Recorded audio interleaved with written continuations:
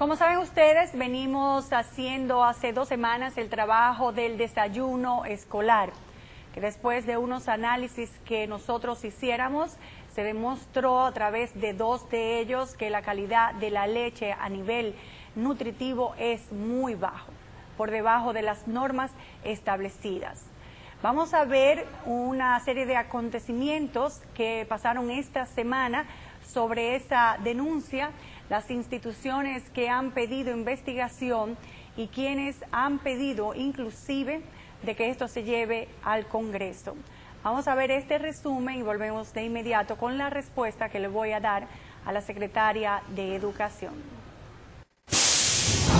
Durante las últimas semanas hemos dado a conocer nuestra investigación acerca del desayuno escolar.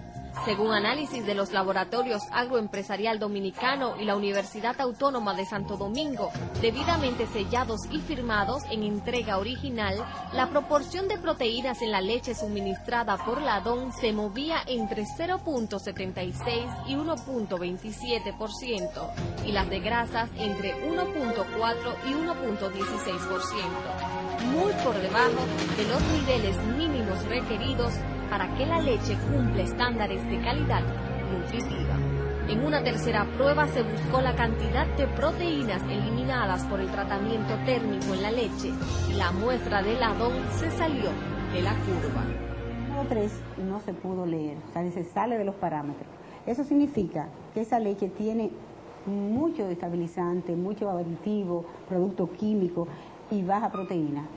Esta denuncia ha provocado una fuerte reacción de la sociedad civil y esta semana varias organizaciones salieron al frente para reclamar una respuesta contundente y eficiente de la Secretaría de Educación, puesto que estamos ante una realidad que afecta a 1.600.000 niños.